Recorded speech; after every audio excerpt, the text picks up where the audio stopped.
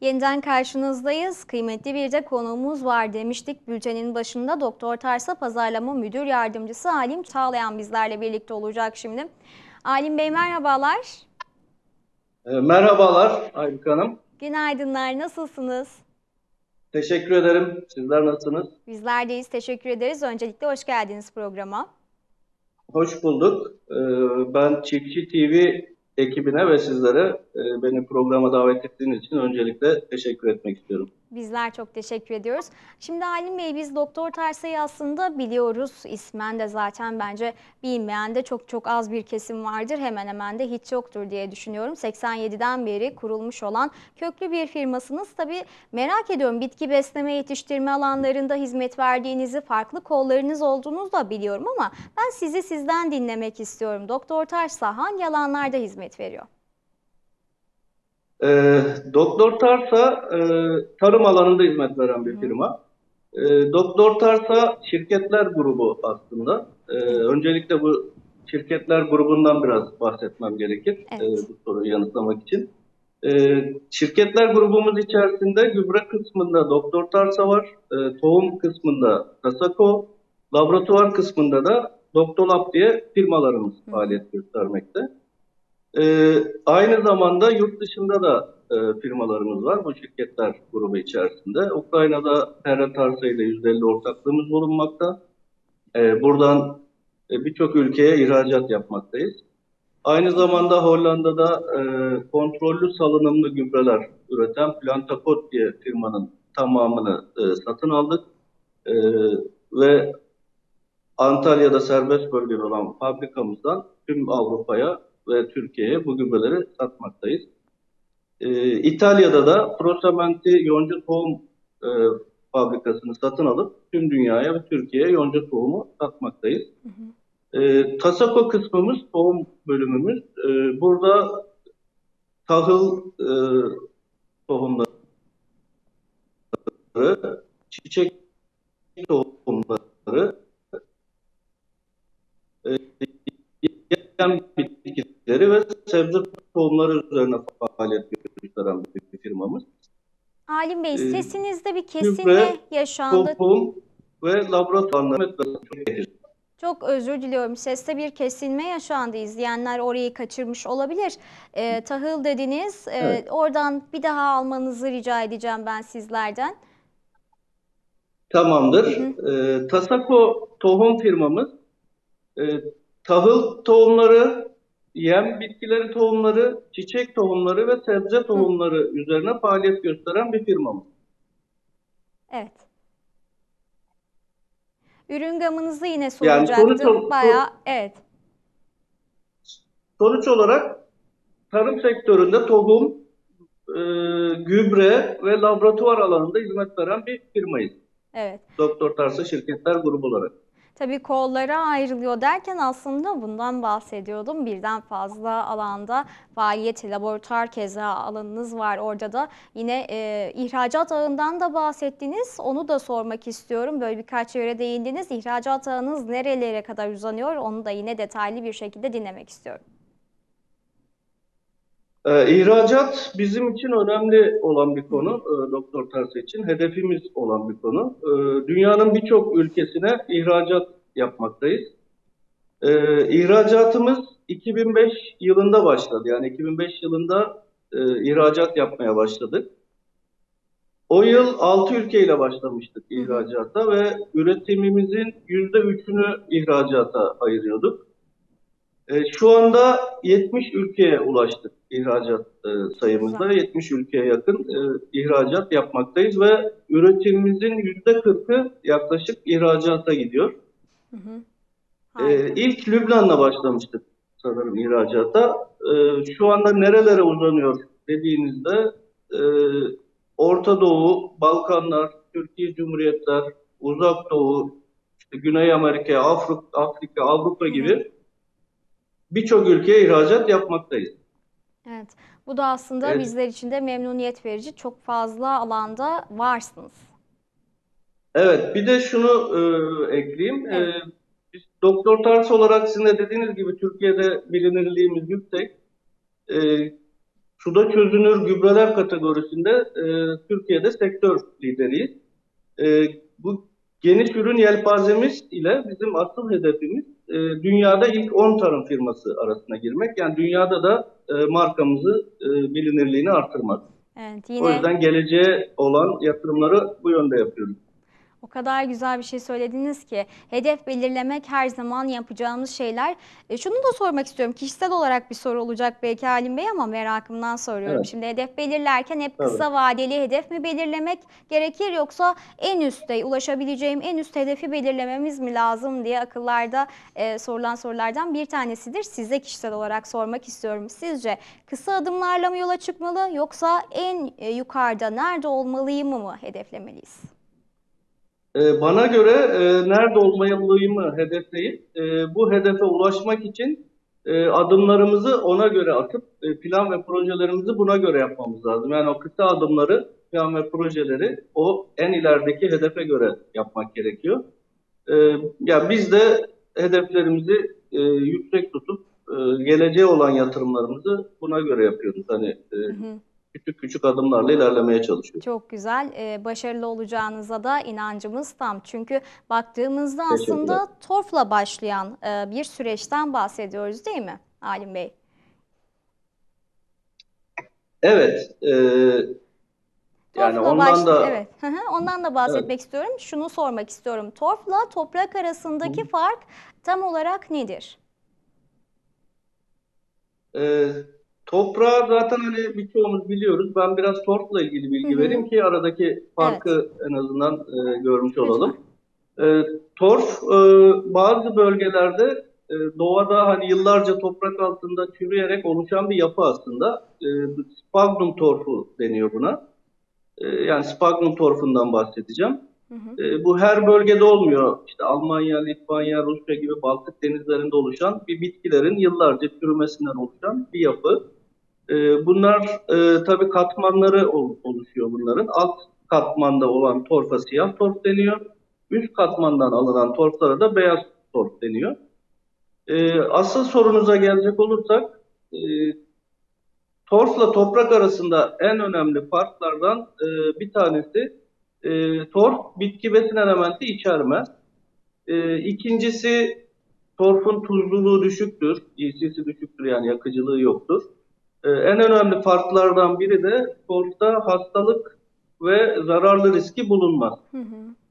Çok güzel. Bundan dolayı e, hassas üreticilik yapan yerler torfu kullanır genelde. Yani e, sebze fidesi üreten yerler, e, dış mekan, iç mekan, peyzaj bitkisi üreten, saksılı bitkiler üreten e, firmalar daha çok torfu kullanır. Hı hı. Yani torf bitkilerin hızlı köklenmesini ve hızlı büyümesini sağlayan bir e, yetişme ortamıdır aslında. Bitkilerin yetiştiği bir ortamdır.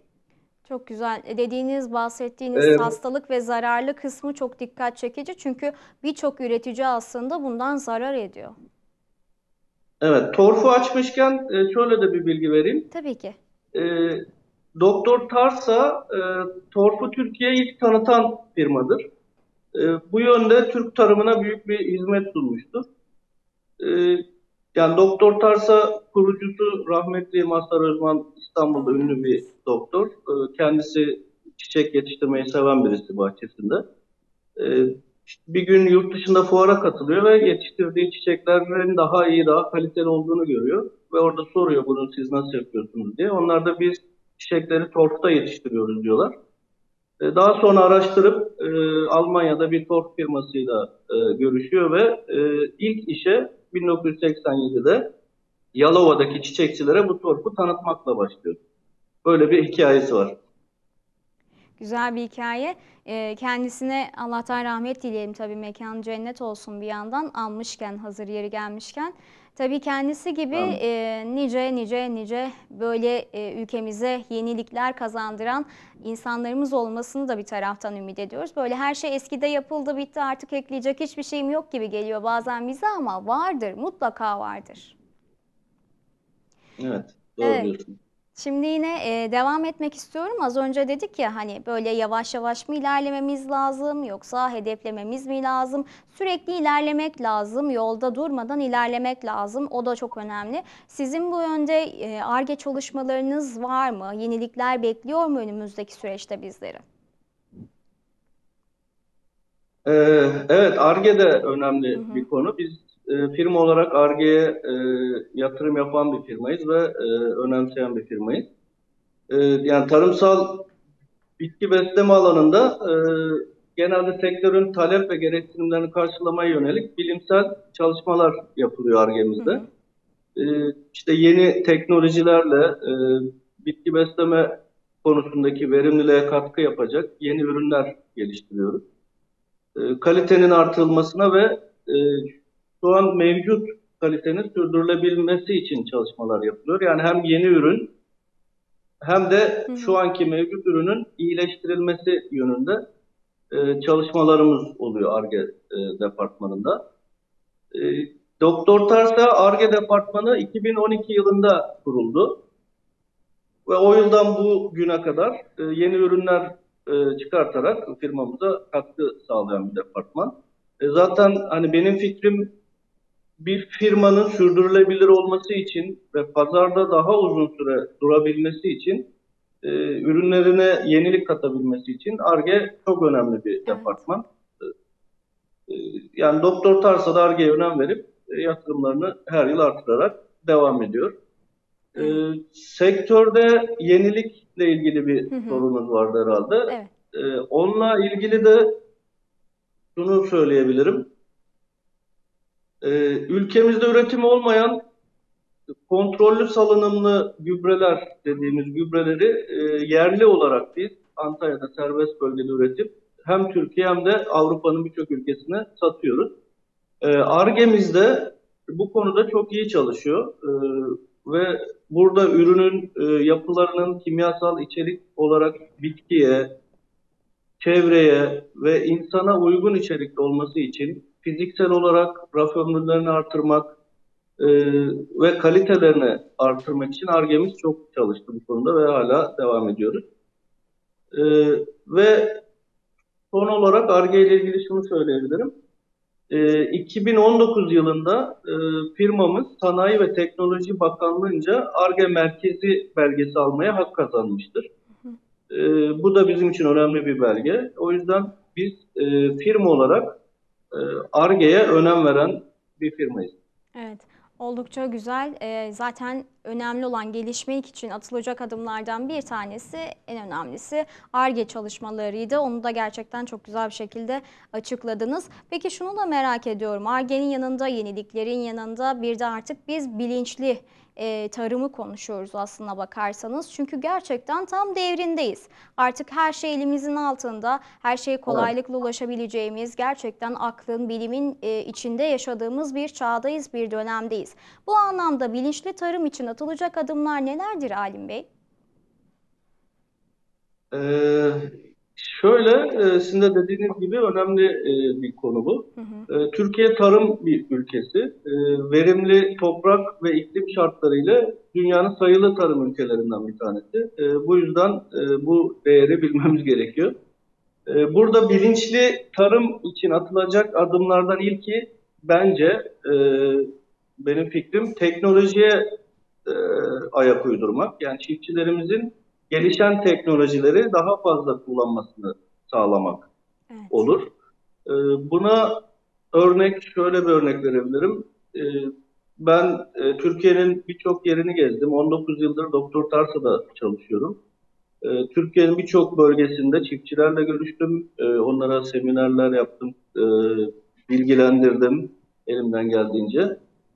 Birçok yerini gezdim dediğim gibi. Mesela bir tansiyonometre diye bir cihaz var. Bu çok yeni bir cihaz değil. Hani hı hı. şu an teknolojik bir cihaz değil. Bunun şu anda çok daha üst cihazlar var ama e, çiftçilerin bu cihazı çok az kullandığını gördüm.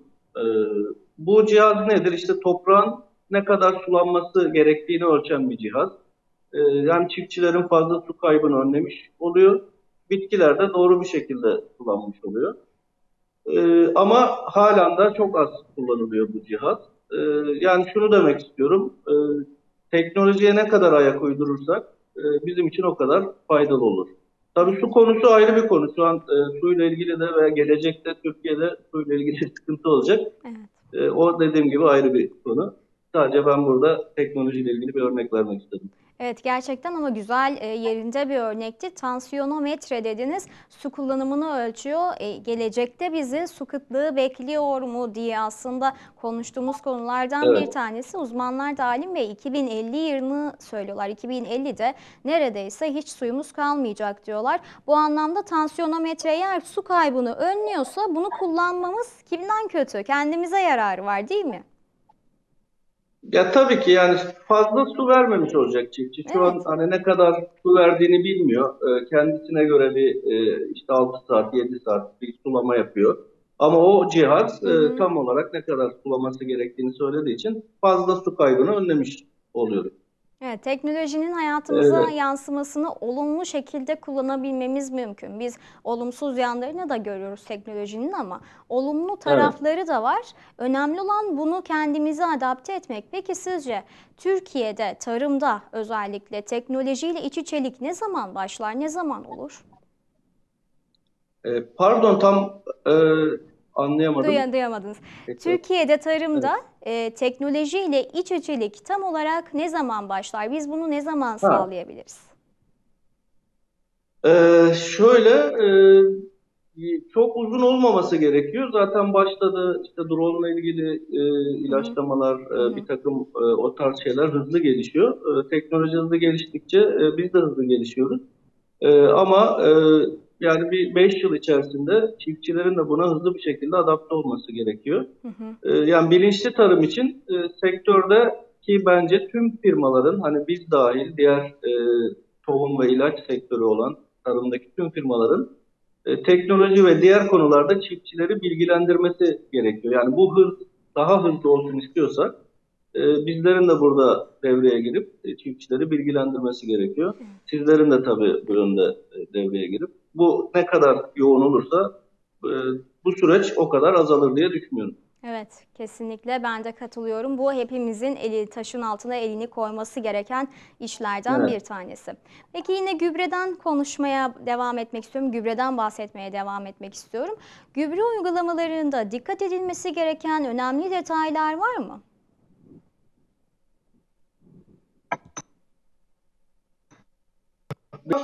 Genelde bizim hani sık rastladığımız yani bunu cevaplayabilirim. Ee, gübre uy- uygulamalarında öncelikle e, birbiriyle karışmayan gübreleri aynı tank içerisine e, koymamak gerekiyor. Bu bizim çok sık rastladığımız e, sorunlardan biri. O yüzden hani bunu dile getirmek istedim. Ee, özellikle çiftçilere tavsiyem e, kalsiyum içeren bir ürünü e, fosfor ve sülfat içeren başka bir ürünle aynı tank içerisine karıştırmaması.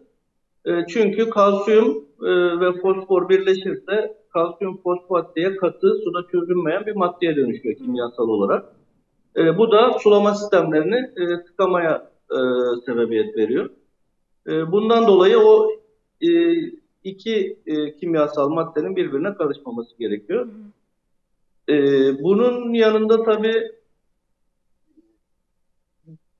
sulama e, gübreleme yaparken e, sulama süresi boyunca gübreleme yapmak gerekiyor. E, bu da önemli bir nokta gübreleme konusunda. Yani e, en doğru gübreleme şekli aslında sulama süresince gübreyi e, eşit miktarlarda vermek.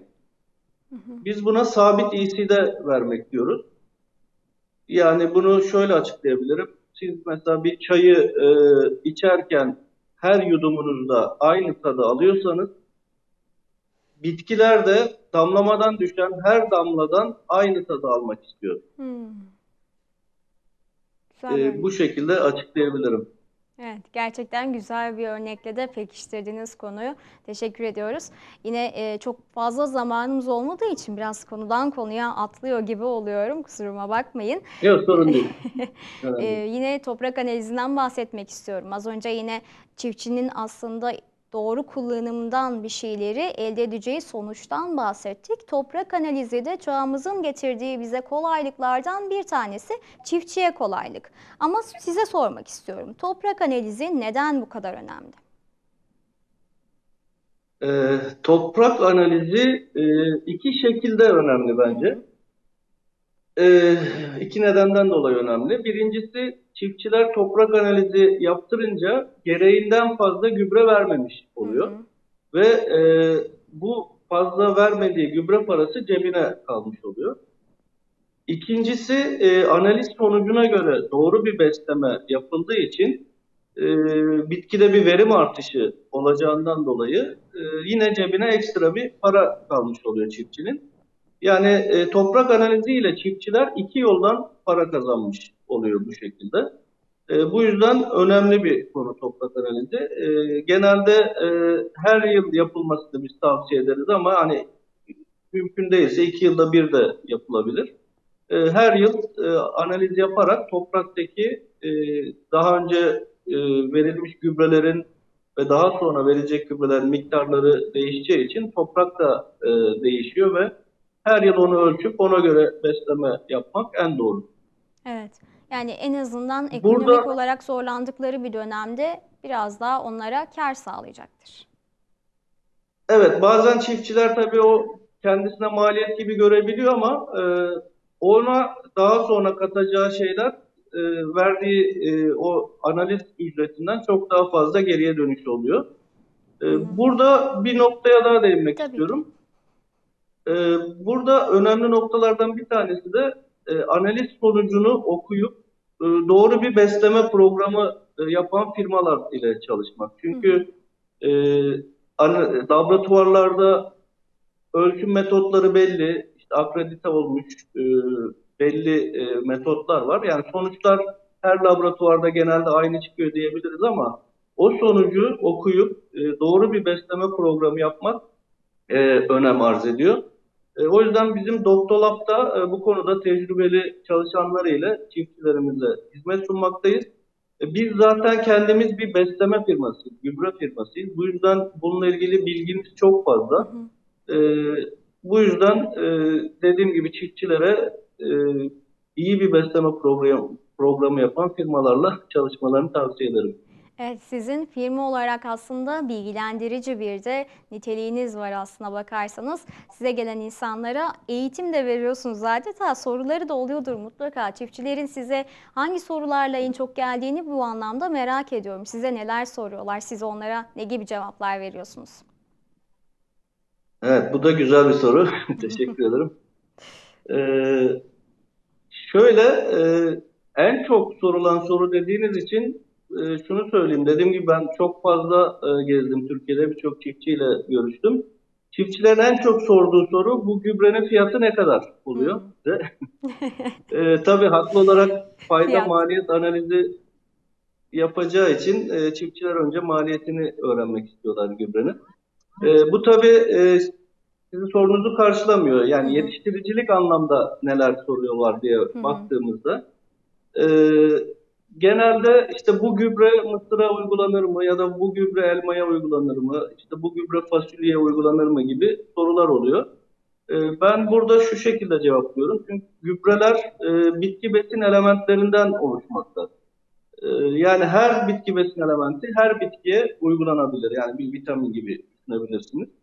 Ee, burada önemli olan bitkiye hangi dönemde hangi besin elementini uygulamak, e, uygulayacağımızdır. Ee, ya örnek olarak fide dikim döneminde bitkinin fosfora ihtiyacı var diyelim ki. Fosfor içeren bir gübre vermek gerekiyor. Ya da daha sonra e, gelişme döneminde potasyuma ihtiyacı var. Potasyum içeren bir gübre vermek gerekiyor. Hı hı. Ee, yani bu tarz e, sorular olabiliyor. Ee, bunun yanında başka e, çiftçiler dönemsel olarak işte atıyorum işte Mısır'da bu dönemde hangi gübreyi vermeliyim? Ee, ya da işte elmada işte meyve büyüme döneminde hangi gübreyi vermeliyim gibi e, sorular gelebiliyor çiftçilerden yetişkinlik anlamında. Biz de bunlara elimizden geldiğince e, yardımcı oluyoruz. Hı hı. e, e, toprak analizi varsa ona göre bir program yapıyoruz ve dönemsel olarak da e, çiftçilerimize yardımcı oluyoruz bu konuda. Siz de e, onlara bu konularda yardımcı oluyorsunuz. Tabii şimdi çiftçilerin ve e, sizlerin aslında bizden farklı yaptığı bir şey var. Siz bizden farklı olarak bir dil biliyorsunuz. Nedir? Bitki dili biliyorsunuz. Bu oldukça önemli oldu. İyi konuşmak oldukça önemli. Bitkinin dilinden anlamak önemli. İşte dediniz ya işte şu zamanda şunu vermek gerekir. Bunları bilmek çok önemli değil mi? Evet tabii ki. Tabii. Yani Bunun için sonuçta çiftçilerimizin evet hepsi bir ziraat mühendisi olamayacağı için evet. e, yani biz yet, elimizden geldiğince bilgilendirmeye çalışıyoruz onları. Size sorulan her soruya elinizden geldiğince yardımcı olmaya çalışıyorsunuz. Bunun dışında çiftçilere hangi konularda yardımcı oluyorsunuz Halim Bey?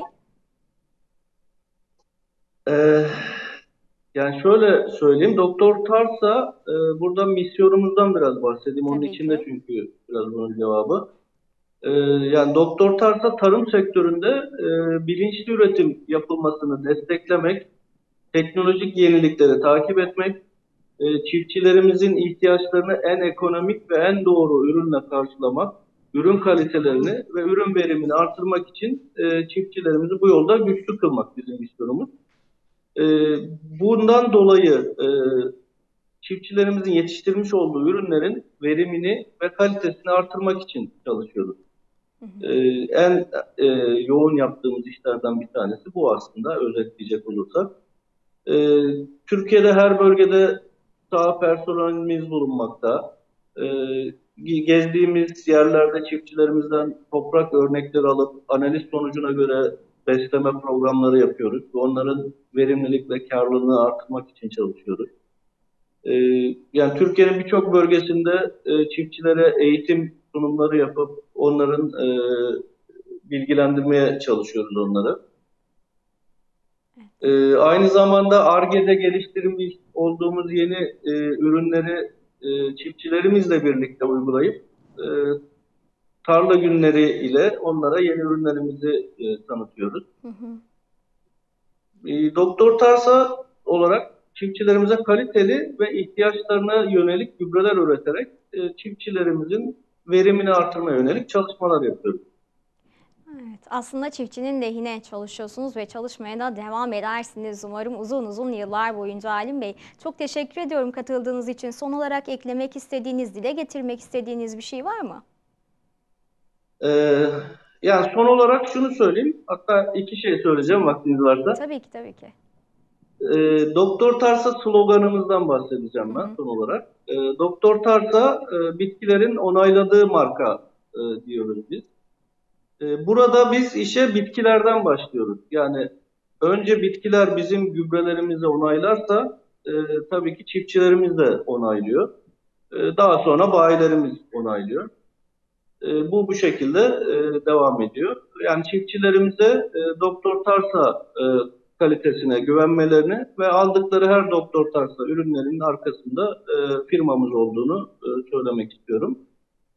E, ikincisi bugün e, firmamızı tanıttık e, genelde. E, eğer nasip olur e, bir daha bir röportaj yapma imkanımız olursa e, ben daha çok besleme ve bitki besleme gibi bilgilendirme amaçlı e, ya da püf noktalar beslemede gibi çiftçilerimizi daha çok bilgilendirme amaçlı bir röportaj yapmak isterim. Evet, bizler de çok isteriz. Son olarak da e, bugünden e, gençlerimizin e, 19 Mayıs Gençlik ve Spor Bayramı'nı kutlarım. Ne kadar güzel söylediniz. 19 Mayıs Gençlik ve Spor Bayramı'nda yarın buradan bizler de kutlamış olalım. Tabii yarın yine e, dile getiririz ama çok teşekkür ediyoruz Halim Bey. Dediğiniz gibi daha bilgilendirici sohbetlere inşallah önümüzdeki süreçte gireriz, değiniriz. Bugün vaktimiz biraz da kısıtlı İnşallah. olduğu için daha çok sizi tanımaya yöneldik ama çok çok teşekkür ediyoruz verdiğiniz her bir bilgi için. Teşekkür ederim. Ben teşekkür ederim. Görüşmek üzere. Evet, Doktor Tarsa Pazarlama Müdür Yardımcısı Alim Çağlayan bizlerle birlikteydi. Değerli izleyenler kendisiyle birlikte Doktor Tarsa'yı tanıdık aslında. Doktor Tarsa hangi alanlarda var, ihracat ağı nerelere uzanıyor ve hangi alanlarda faaliyet gösteriyor gibi konulara değindik. Bunun yanında yine tuhafla toprak arasındaki fark, bilinçli tarım diye konulara da bahsettik aslında. Onlara da değindik. Birçok yelpazede, geniş bir yelpazede de konuşmuş olduk böylece. Bugünlük de bizden bu kadar diyelim. Saatlerimiz yavaş e, doldu, sona geldi. Yarın yine saatler 9'u gösterdiğinde sizlerle olmak ümidiyle, dileğiyle şimdilik hoşçakalın.